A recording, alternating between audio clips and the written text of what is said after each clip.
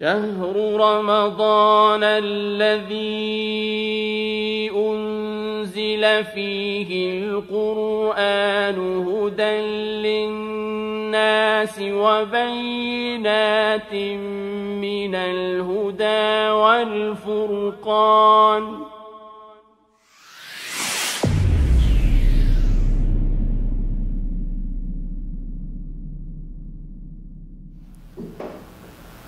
Bismillah, Alhamdulillah, wassalatu wassalam ala Rasulillah wa ala alihi wa sahbihi ajma'in. Uh, dear brothers and sisters, uh, today's topic is an important one as it deals with one of the goals, one of the main goals, the most important goal of the fast of Ramadan, which is achieving taqwa. So our topic today is about taqwa as it relates to the fast of Ramadan. As you know, Ramadan is coming on us very quickly. And the Muslim in this blessed month, he tries his best to do what is pleasing to Allah Azza wa Jal and avoid what is displeasing to Him in order that he may attain a taqwa which is the goal and the fruit of Ramadan. As Allah Azza wa Jal tells us in the Quran, كُتِبَ عَلَيْكُمُ الصِّيَامِ كَمَا كُتِبَ عَلَى الَّذِينَ مِن قَبْلِكُمْ لَعَلَّكُمْ تَتَّقُونَ Allah Azza wa Jal says that it has been written upon you, O believers, to fast the month of Ramadan as it was written upon those who came before you in order that you may attain a taqwa. And the definition of taqwa, many scholars have talked about it and many definitions have been given. In translation, uh, most times the definition of taqwa is usually translated as being conscious of Allah or fearing of Allah, knowledge of the boundaries of Allah Azza wa and that is something that is that is included in the definitions of a taqwa. Ibn Qayyim rahimahullah has a very nice and concise definition of a taqwa. He says, حقيقتها العمل بطاعة الله إيمانا واحتسابا أمرا ونهيا. This is a very nice definition that Ibn Qayyim rahimahullah he gives of taqwa. He says that iman, uh, he says that a taqwa, it means to work or to act in obedience to Allah Azza wa meaning that one acts in doing the things that Allah Azza wa loves. He acts in obedience to Allah Azza wa Jal, imanan wa ihtisaban, with faith in Allah Azza wa and hoping for the rewards from Allah subhanahu wa ta'ala for his obedience. Amran wa nahyan, that he does that which Allah Azza wa has commanded and he refrains from that which Allah Azza wa has prohibited. So, fasting of Ramadan is something that if we do it with all of the conditions that are mentioned in it, that we do it properly by having faith and looking for the reward from Allah Azza wa Jal, doing what Allah has commanded and abstaining and refraining from what He has uh, commanded us to avoid, a person inshallah will achieve a taqwa. And there are some ways and how we can achieve. There are some ways that we can achieve a taqwa.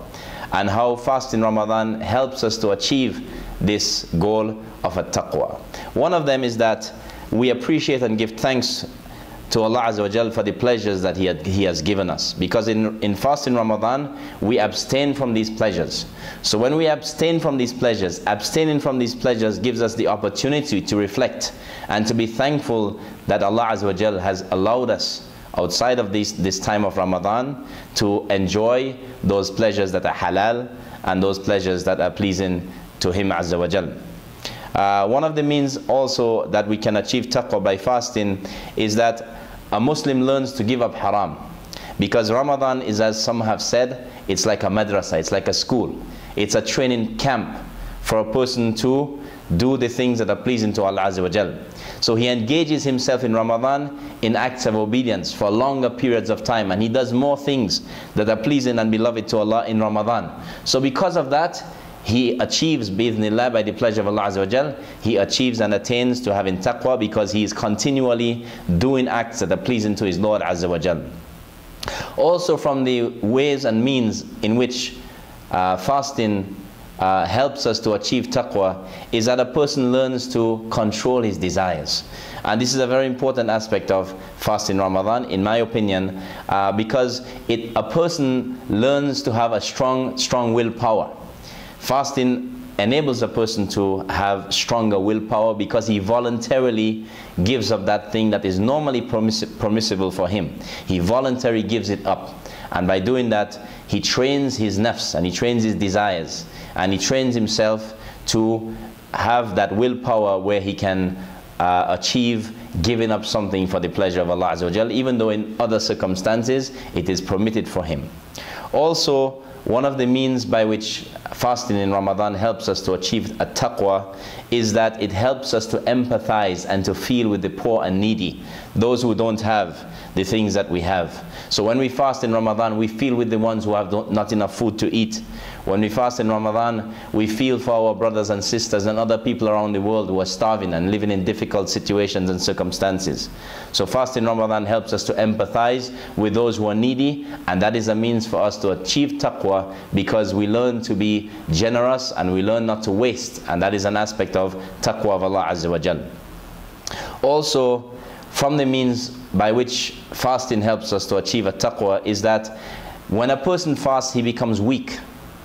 And that weakness that he feels is, another, is a natural means by which a person achieves a taqwa because he does not have the strength and his desires are less strong than when he is eating food. So by that, it weakens the desires of a person and helps him by that to achieve a taqwa.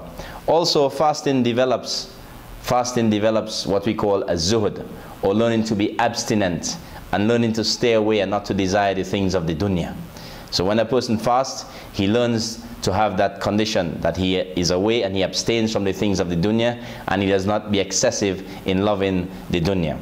Also, fasting makes a person get used, gets used to doing more worship because outside of Ramadan he may be doing less. But in Ramadan, he's doing more. So if he continues in that school, the school of Ramadan, he will, inshaAllah, achieve and attain a taqwa by increasing in his acts of obedience and worship to Allah Azza wa Jal. We ask Allah subhanahu wa ta'ala to make us of those who achieve a taqwa in Ramadan and outside of Ramadan. And we ask Allah Azza wa Jal to make us of those who see this month and achieve the good of it. Walhamdulillahi Rabbil Alameen.